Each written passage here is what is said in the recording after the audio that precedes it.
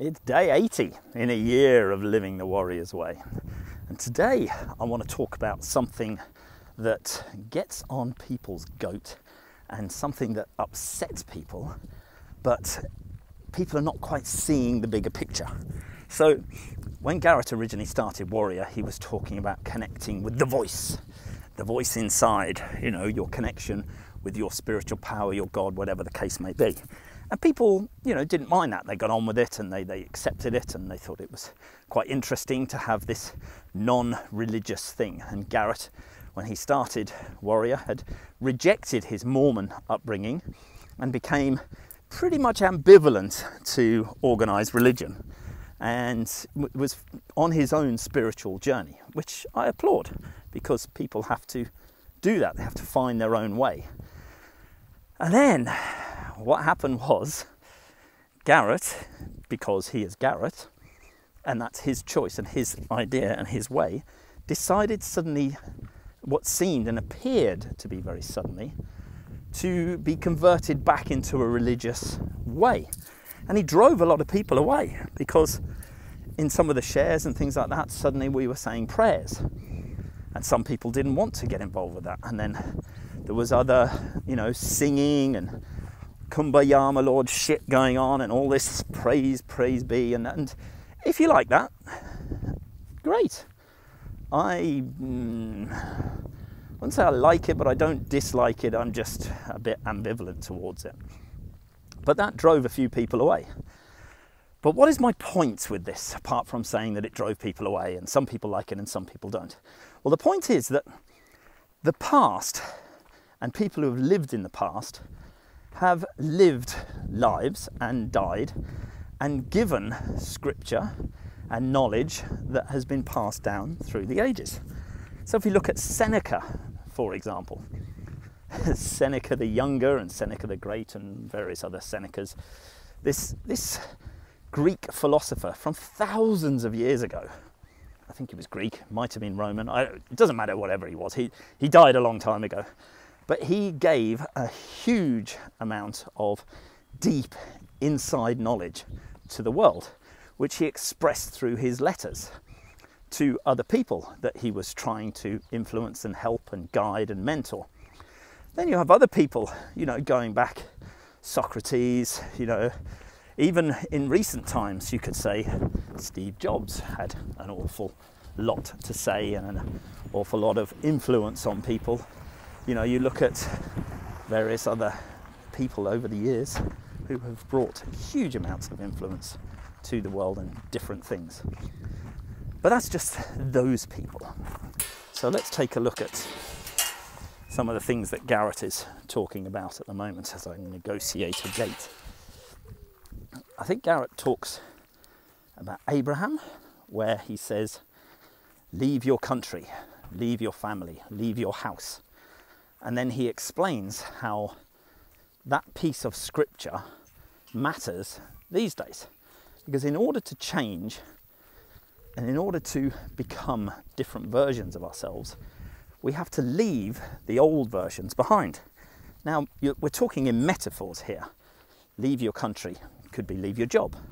Leave your country could be leave your wife. Leave your country could be literally getting up and leaving your country.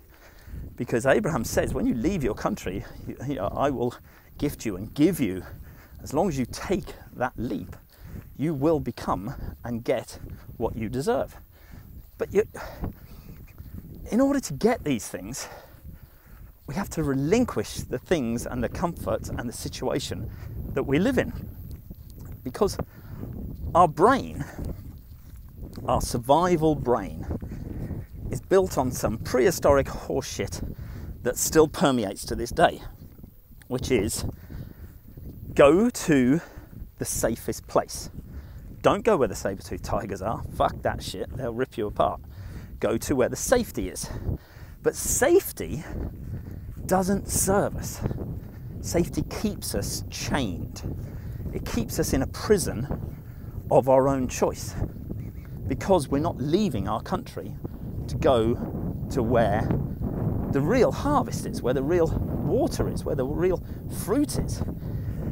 you know, we're, not changing fundamentally as ourselves because our survival brain, with all the shame and guilt and blame and, you know, all, all of the stuff that's fed to us by the media and all of these things, you know, we, we, we get stuck and we become imprisoned with our own brain, our own minds, and our own beliefs in what should be in the status quo and what people tell us we are allowed to have and we're entitled to have and what we should expect. And you know, it's a it's a weird one because it means that there is no purpose or mission in life that we're chasing. And this brings me I've mentioned it before in previous in Japan, in, particularly in Okinawa, they have this saying that um, ikigagi, I think it is, which is basically that, that they don't have a, a, word for retirement because there is no word. So they have this phrase ikigagi, which is, you know, the, the purpose of my life. And these people live into their hundreds because they have a purpose in their life. They have something that they're striving for. They want to go to their great, great, great granddaughter's wedding you know, when they will be 123. But they have that in their mind. So they still work every day. They push every day. They exercise every day. They do whatever it takes to be done that day.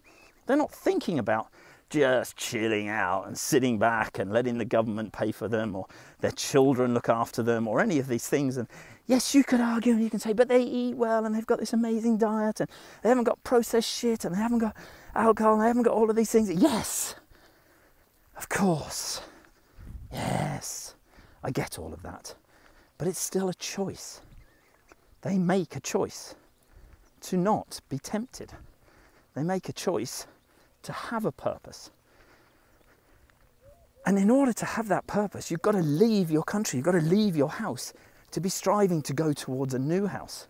That new house needs to be something that you create and you decide on in your mind and you make moves towards getting. And this weekend, I'm going to be doing just that sitting down and creating a new path, a new structure, a new purpose, and moving towards that with a relentless intensity to get there. Because me just saying I want 100 grand a year isn't going to produce it. It's not going to magically just appear in my lap. I have to do things, I have to take action, I have to know exactly what I want to do. I've got to burn those bridges, I've got to burn those boats, and I've got to say, this is what I'm going for. Not get distracted. Pick one particular mission, because at the moment I'm chasing five or six rabbits, and I'm not catching any of them. Those rabbits look tasty. Oh, those rabbits. When you cook them and then you use the fur, and they're so soft, and you can have fun with them. But if you're chasing five fucking rabbits and catching none, pretty soon you're going to run out of energy and you're going to run out of desire and you're going to run out of drive and you're going to run out of purpose and you're going to run out of determination because you're catching fuck all because you're chasing in all sorts of different directions.